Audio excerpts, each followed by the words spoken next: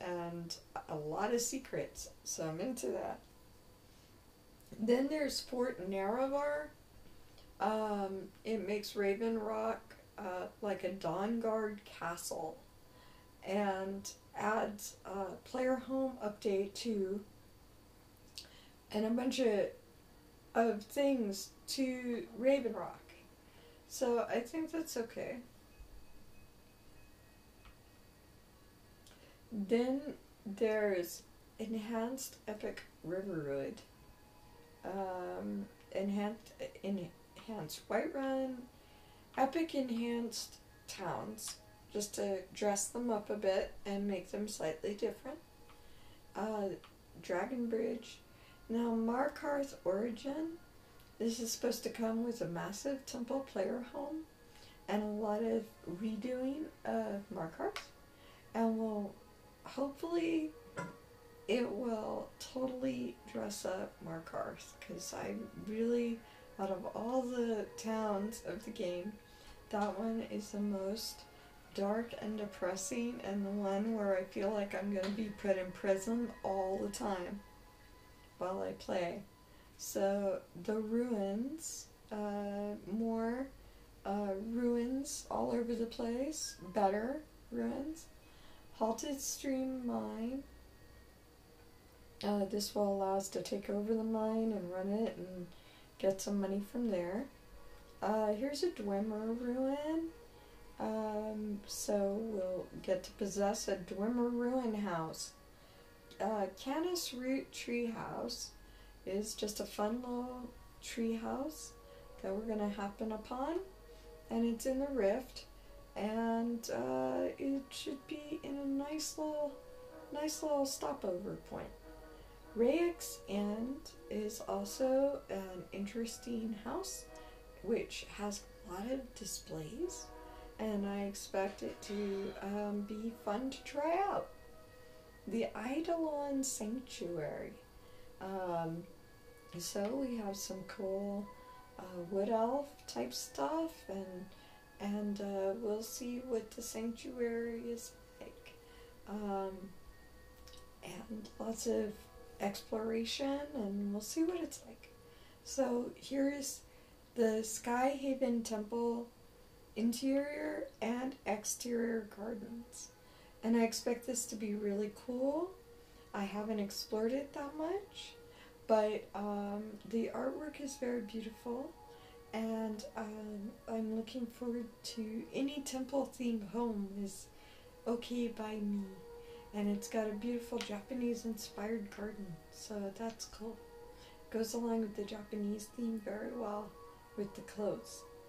So here's the Archmage Retreat, and this is a place just under the Winterhold College stairs and allows you to instantly have a way cooler student accommodation while you hang out around the College of Winterhold um, than you would normally get.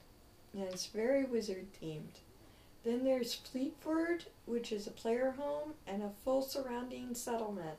And it's located on the road to Windhelm from Whiterun between Darkshade and Cradlecrush. So it kind of fills up some empty space and uh, offers us some new opportunities for interaction in a new town.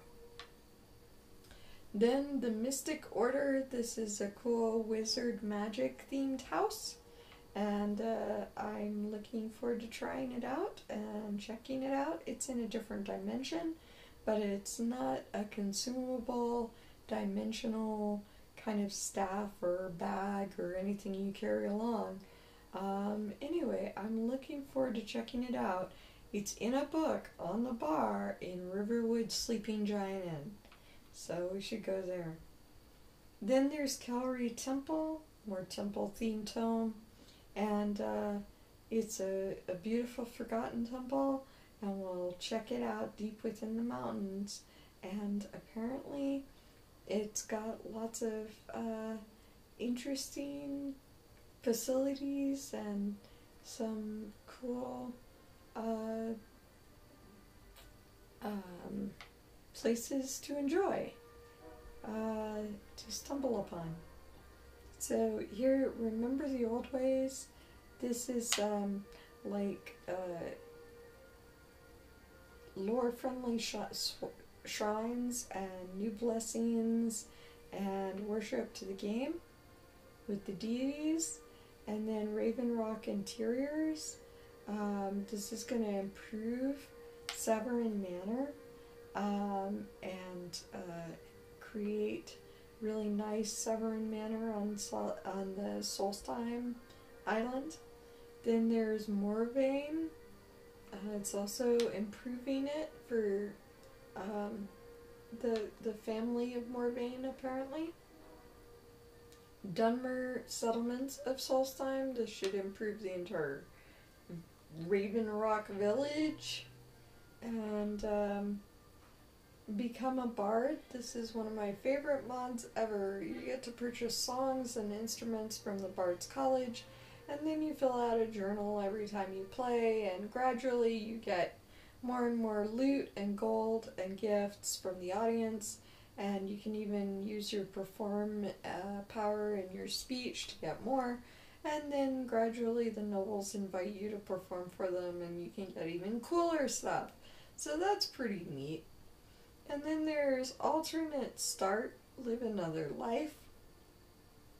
Um, and everybody knows about this mod. If you don't, uh, it allows you to pray to a shrine of Mara as a prisoner and uh, select that life you would like to start off with in the game. I'm a very big pop uh, person for houses, but lately I've been allowing it to select which house I have randomly just for fun. Then there's the Guild City of Thieves, and this is gonna help uh, redo Riften, hopefully, and really make it um, far more uh, far more alternative, um, far more uh, kind of uh, interesting place to explore a different type of Riften. So I hope that it will um, really uh, improve the city of Riften. The Northern Star Retreat, it's a really beautiful home. I've had a little trouble keeping it going in my playthroughs and not getting kicked off, but we're going to give it a try anyway. And then there's the Gypsy Wagon, which I've also been really enjoying. Um, and it allows you to have kind of a temporary home base while you travel around. Neva's Keep is a nifty castle and a good location. We're going to explore that one.